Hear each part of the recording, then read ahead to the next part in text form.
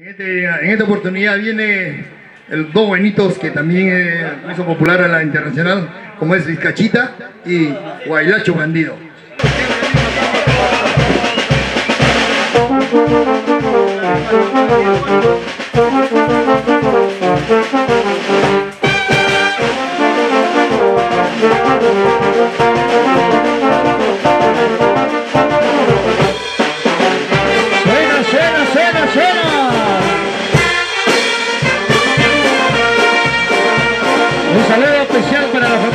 Tembladera Rosales.